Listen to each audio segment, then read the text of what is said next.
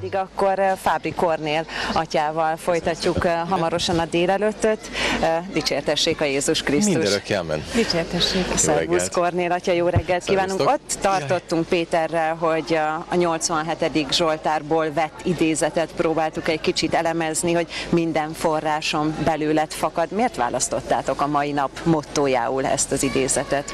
Hát igazából ez maga az eukarisztikus kongresszus szimbóluma, és mondhatom azt, hogy nem is mi választottuk, hanem a Szent Atya, mert hogy a Teológiai Bizottság három témát vetett fel, ezt kellő indokkal a Vatikáni Bizottságnak bemutatta, és aztán a Szent Atyának kellett dönteni, hogy melyik legyen.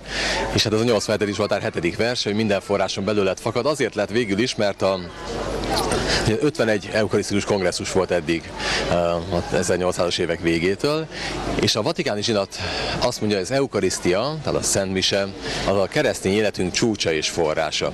És ez a téma még nem került elő az 52, 51 kongresszus alatt, és nagyon fontosnak érezzük, hogy valóban minden keresztény számára ez legyen a csúcs és a forrás. Nekem papként is minden napomnak a csúcsa és a forrása is az eukarisztia, tehát belőle és érte élünk, mondhatom így. Hiszen örök életet ad. Jézus maga mondta, hogy aki eszi az én testemet, issza az én véremet, annak örök élete van. Tehát aki gyakorlatilag áldozik, akkor az a lelkét is táplálja. Tehát ez lesz majd a mottónk, és hát igazából nagyon sok minden forrásozik az eukarisztiából.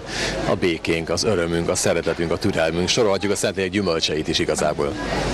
Én mindig úgy képzeltem, hogy a szentségimádás az az a pillanat, amikor a, a pap felmutatja az eukarisztiát, és megdermed. Uh-huh. Tehát megállott az idő. És hogy az a kérdésem, hogy erre hol van lehetőségük a, a híveknek? Nagyon sokan nem tudják, hogy hol van a környékükön szentségimádásra lehetőség. Hogyha nem lehet megdermeszteni a pillanatot, akkor hova mehet az ember? Igen, ez tényleg így van, a Szent Misében, a Szent Áldozás után van egy szent csend a előírások szerint, amikor egy személyes, rövid imára van csak idő. De hogyha valaki többet szeretne Jézussal időzni, arra a legjobb alkalom, hogyha talál olyan helyet, ahol szentségimádás van, csendes szentségimádás, ahol személyes imát lehet eh, Jézussal eh, tölteni. Hát Budapesten most már két olyan templomunk is van, hogy éjjel-nappal van szentségimádás. Ilyen a belvárosi templom az Erzsébet híd Pesti hídfőjénél, illetve a Szent Angyalok templom eh, Gazdagréten. Tehát oda bármikor lehet menni, 0-24 órában nyitva van, de Pasaréten is ott van egész nap az Örökimádás templomon, a Nyolc Boldogság közösségnél reggeltől estig, vidéken is, Vácot, Sopronban egész napos szentségimádás van, Nagymaroson reggel 6 este 10-ig, tehát egyre több templom van, és ez nem csak azért jó, hogy most a szentségimádás zajlik, hanem hogy nyitva van a templom. És Sopronról sem szabad megfeledkezni. Mondtam is, Vác és Sopron, Ja, így van, így van, nem- így van, nem- így nem van, így van.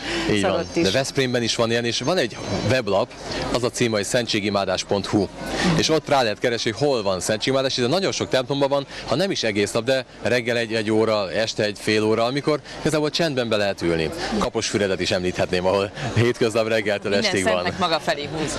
Hát igen, mégis örülök, hogy a 7 éve ott is már elkezdődött, és ez, ez egy kegyelmi erőt ér. Tehát ott, ha valaki imádkozik, akkor az kihat a környékre is. Hát Isten országát építjük igazából. Úgyhogy hál' Istennek sok hely van, és eh, egyre több. Itt említettél egy honlapot, de azért mondjuk el, hogy van egy másik honlap is, mert hogy június másodikán egy nagy eseményre készül a világ. Pénteken már beszélgettünk Kornél atyával a délelőttben erről, mert hogy 2020 helyszínt szeretnétek bevonni egy közös nagy világméretű Igen. szentségimádásba. Hol tartanak most az előkészületek? Hát elkészült, ugye menjünk is egy kicsit vissza az Rögtön az időben. elejére. Igen. Ugye tavaly kezdtük ezt, Krisztus királyra gondolkodtunk, hogy de jó lenne, hogyha lenne egy olyan szentségimádás, ami nem egy helyen van, nem oda kell menni mindenfelől az embereknek, hanem ki ki a maga közösségében, plébániáján, szerzetes közösségében megtarthatja, és akkor a célkitűzésünk az volt, hogy legyünk 20 ezren. Ugye Mincedi Bíboros mondta, hogy ha egy millió magyar imádkozik, akkor nem férti Magyarországot. Hát ez is ennek része, hogy, hogy tudjunk a célja volt ennek, hogy ha valahol csak hárman gyűlnek össze, akkor is tudják, hogy de egy nagy egésznek az részesei vagyunk. És hát a, csináltunk egy honlapot, ahol lehetett látni, hogy hány helyszín jelentkezett be, és hol hányan regisztráltak, hogy na, itt ennyien leszünk. Tehát 200 valahány volt a legtöbb, de tudunk helyekről, ahol csak néhányan regisztráltak, de tízszer annyian voltak. Nyilván, aki nincs e-mailje, vagy nem volt internet közelben, Lettük a 30 ezre, tehát 20 ezer volt a cél, és 30 ezeren lettünk, 840 helyszínen, és 16 ország csatlakozott hozzánk.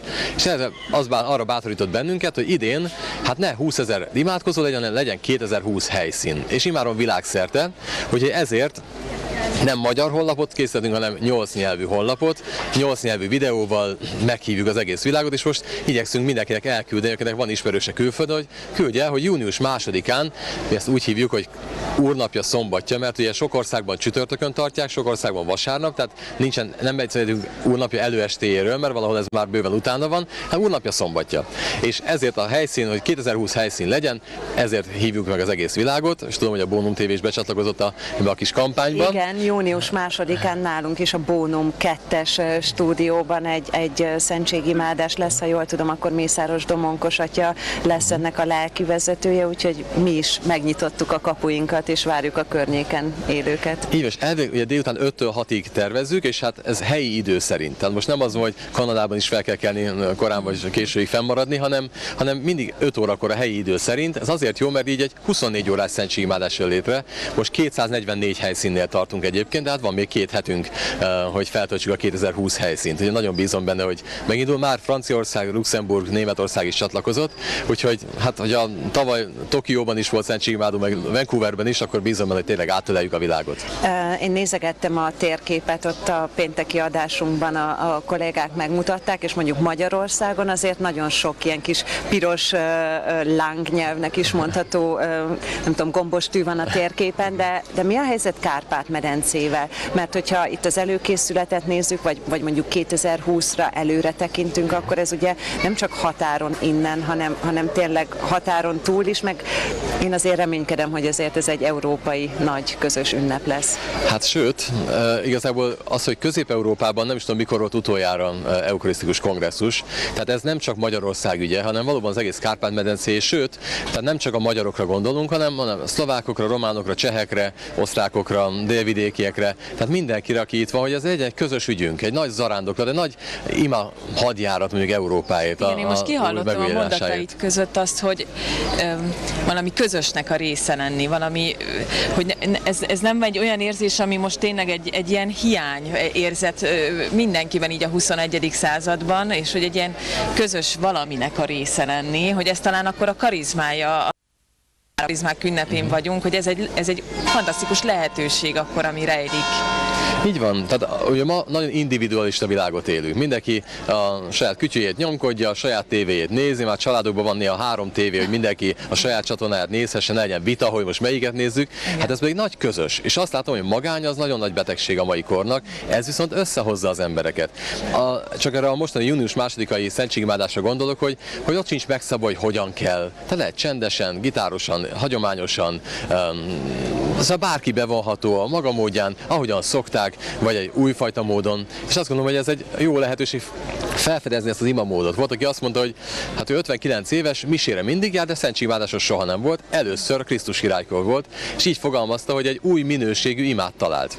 5 perc ének volt, 50 perc csend, tehát csendesen ott ő 60 ember Jézussal, és mondhatom így, hogy Jézus szimultánban nagyon jó. Tehát, hogy mindenkire oda tud figyelni egyszerre, és, és utána végén volt megint 5 perc csend, 5 perc ének. És azt mondja, hogy egy, ez teljesen új imamód volt számára, de nagyon felemelő. De ha már itt a, a mai ember betegségeinél tartottunk, hogy nagyon individualisták vagyunk, nagyon egyedül vagyunk, nagyon saját magunkra figyelünk, akkor azért benne van az is, hogy, hogy valahol félünk a csendtől, vagy hogy folyamatosan megy a tévé, megy a rádió, zúg valami, folyamatos zajban vagyunk, és hogy a, a csendtől valahogy óckodunk. Igen, és szerintem az oka az, hogy a csendben az ember önmagával találkozik, és ez nem mindig kellemes. Tehát valaki nem szeret szembesülni saját magával, de hát ezért jó, hogy a katolikus egyházban ott van lehetőség a szentgyónásra. Letehetem a hibáimat, a bűneimet, nem viszem tovább. Ugye Jézus elveszi a bűneinket, nem felhánytorgatja, nem szőnyeg alá söpri, nem a fejükre uh, szórja, hanem azt mondja, hogy kész, elvettem, nincs több.